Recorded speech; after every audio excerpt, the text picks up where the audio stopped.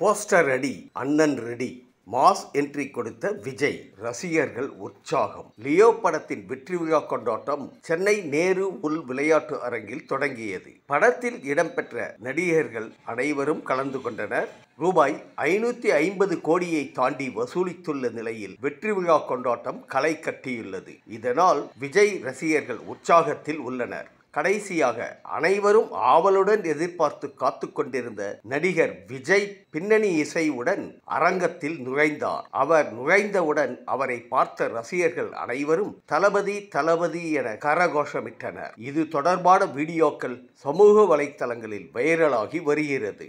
இந்த விழாவில் பேசிய இயக்குனர் லோகேஷ் கனகராஜ் இயக்குனர் வெற்றிமாறனை வில்லனாக நடிக்க வைக்க வேண்டும் என்ற ஆசை இருக்கிறது என்று லோகேஷ் கனகராஜ் கூறியுள்ளார். லியோ படத்தின் வெற்றி விழாவில் பேசிய அவர் இதுதான் இந்த படத்தோட முதல் மேடை. அதுவும் சக்சஸ் மீட். இந்த மேடையை என்னோட துணை இயக்குனர்களுக்கு சமர்ப்பிக்கிறேன். மக்கள் கூட்டமாக போய் பார்க்கிறார்கள். ரத்னா சொல்ற மாதிரி தான் குடும்பங்கள் கொண்டாடும் கேங்ஸ்டர் படம் இது என்று கூறினார் இயக்குனர். நடிகர் மன்சூர் அலிகான் பேசும்போது தமிழகத்தின் நாளைய தீர்ப்பு விஜயாக இருக்க வாழ்த்துக்கள் என நடிகர் மன்சூர் அலிகான் பொடி வைத்து பேசியுள்ளார். லியோ திரைப்படத்தின் வெற்றி விழாவில் பேசிய அவர் நெஞ்சில் குடியிருக்கும் தளபதி ரசிகர்களுக்கு வணக்கம். லியோ படத்தில் நானும் விஜய் தம்பியும் தம் அடிப்போம் குடிப்போம். அதெல்லாம் சும்மா பொய். படத்திற்காகத்தான் தவறான பழக்கத்திற்கு அடிமையாகாதீர்கள் என்று அறிவுரை கூறினார். இந்த விழாவில் பேசிய நடிகர் அர்ஜுன் விஜய் எதிரிலேயே அவர் விரைவில் அரசியலுக்கு வரப்போவதாக கூறியதை தொடர்ந்து ரசிகர்கள் விண்ணை பிளக்கும் அளவுக்கு உற்சாக குரல் எழுப்பினர். ஏற்கனவே அரசியல் வருகைக்கான முன்னேற்பாடுகளில் விஜய் தீவிரமாக உள்ளதாக கூறப்படும் நிலையில் அதனை உறுதி செய்யும் வகையில் அர்ஜுன் பேச்சு அமைந்துள்ளது. நடிகர் அர்ஜுன் கேட்ட கேள்விக்கு விஜய் அளித்த சுவாரஸ்யமான பதில் இணையத்தில் வைரலாகியுள்ளது அதாவது நடிகர் விஜயாக இருப்பது கஷ்டமா அல்லது ஈஸியா என்று அர்ஜுன் கேட்டுள்ளார். அதற்கு பதில் அளித்துள்ள விஜய் வெளியில் இருந்து பார்த்தால் கஷ்டம் போலத்தான் தெரியும். ஆனால் அது எனக்கு ஈஸியாக உள்ளது. அதற்கு காரணம் எனது ரசிகர்கள்தான் என்று கூறி அரங்கத்தை அதிர வைத்துள்ளார். இந்த விழாவில் பேசிய ரத்தினகுமார் விஜய் யாரையும் உயர்வானவராகவோ தாழ்வானவராகவோ பார்க்க மாட்டார் எல்லோரையும் சமமாகவே தான் பார்ப்பார். எல்லாத்தையும் தாண்டி எவ்வளவு உயரத்தில் பறந்தாலும் பசித்தால் கீழே வந்துதானே ஆக வேண்டும் என்று ரத்தினகுமார் பேசியுள்ளார்.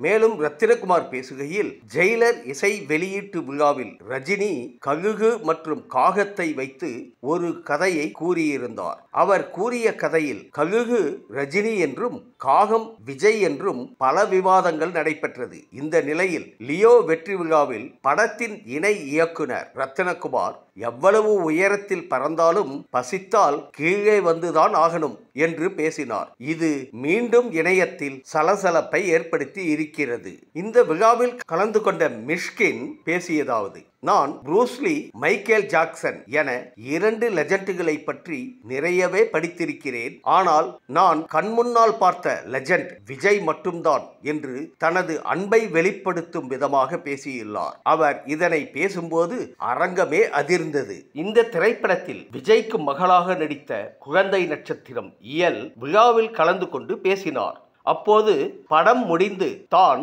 விஜயை மிகவும் மிஸ் செய்வதாகவும் அழுததாகவும் இயல் பேசினார். இதனை அடுத்து விஜய் தன் இருக்கையில் இருந்து எழுந்து ஓடி வந்து பேபி இயலை தூக்கியதுடன் அவருக்கு முத்தமிட்டு முத்தம் பெற்றுக்கொண்டார் இந்த கியூட் மூமெண்ட் தொடர்பான வீடியோக்கள் தற்போது இணையத்தில் வைரலாகி வருகின்றன.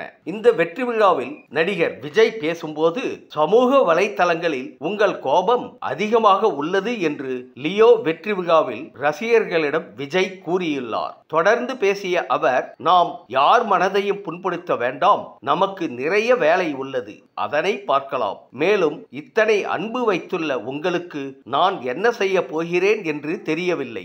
ஆனால் உங்களது உழைப்பில் எனக்காக செலவு செய்யும் ஒவ்வொரு காசுக்கும் உண்மையாக இருப்பேன் என்று நடிகர் விஜய் கூறியுள்ளார். மேலும் அவர் பேசுகையில் இரண்டாயிரத்தி இருபத்தி ஆறில் கப்பு முக்கியம் பிகிலு என லியோ வெற்றி விழாவில் நடிகர் விஜய் பேசியது சமூக வலைத்தளங்களில் வைரலாகி வருகிறது. இரண்டாயிரத்தி இருபத்தி ஆறு பற்றி எழுப்பிய கேள்விகளுக்கு தனக்கே உரிய பாணியில் பதிலளித்த அவர் இரண்டாயிரத்தி இருபத்தி ஆறில் உலகக்கோப்பை கால்பந்தாட்ட போட்டி நடக்கப் போகிறது என்றார். இரண்டாயிரத்தி இருபத்தி ஆறில் தமிழக சட்டமன்ற தேர்தல் நடைபெற உள்ள நிலையில் அதை மனதில் வைத்துத்தான் அவர் கப்பு முக்கியம் பிகிலு என்று கூறியதாக விவாதங்கள் எழுந்துள்ளன. இந்த விழாவில் பேசிய நடிகை திரிஷா லியோ படத்தில் தன்னை உயிருடன் விட்டதற்கு நடிகை திரிஷா லோகேஷ் கனகராஜுக்கு நன்றி தெரிவித்தார். நேற்று நடந்த லியோ பட வெற்றி விழாவில் பேசிய திரிஷா லோகேஷ் படங்களில் ஹீரோயின்கள் இறந்து விடுவாங்க. ஆனால் லியோவில் அவர் என்னை கொலை செய்யல. இதற்கு லோகேஷுக்கு நன்றி என்று கூறினார். லியோ படத்திற்கு ஆடியோ வெளியீடு நடைபெறாததால் அதன் வெற்றி விழா பிரம்மாண்டமாக கொண்டாடப்பட்டது.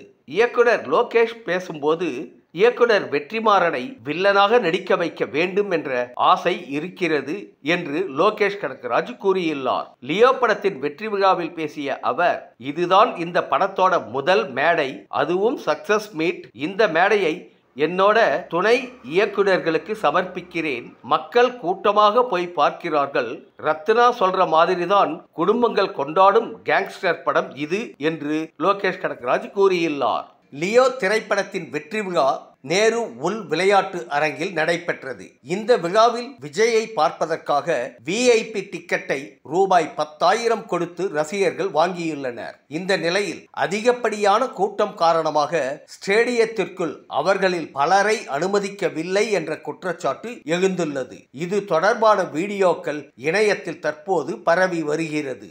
இதனிடையே ஜெயிலர் திரைப்படம் வெளியான போது பல காரசாரமான பேட்டிகளை கொடுத்தவர் மீசை ராஜேந்திரன். நடிகரான இவர் ஜெயிலர் படத்தின் வசூலை லியோ திரைப்படம் முறியடிக்க வாய்ப்பே இல்லை என்று ஜோசியக்காரர் போல பேசியிருந்தார். அதோடு லியோ திரைப்படம் ஜெயிலர் வசூலை விஞ்சிவிட்டால் மீசையை மகித்துக் கொள்வதாக சவால் விட்டார். தற்போது ஜெயிலர் திரைப்பட வசூல் முறியடிக்கப்பட்டிருக்கும் நிலையில் மீசை ராஜேந்திரனை தேடி வருகின்றனர் விஜய் ரசிகர்கள். லியோ வெற்றி விழாவில் ரஜினியை மறைமுகமாக தாக்கி பேசிய இயக்குனர் ரத்தினகுமாரின் பேச்சு சர்ச்சையை கிளப்பியுள்ளது. ஏற்கனவே விக்ரம் படம் வெளியான போது ட்விட்டரில் அஜித்தை சீண்டிய அவர் தற்போது ஜெயிலர் விழாவில் ரஜினி கூறிய காக்கா கழுகு கதையை சுட்டிக்காட்டி எவ்வளவு உயர பறந்தாலும் பசித்தால் கீழே வந்துதான் ஆகணும் என சாடியுள்ளார். அவரது இந்த பேச்சு இணையத்தில் வைரலானதோடு மீம்ஸுகள் குவிந்து வருகிறது.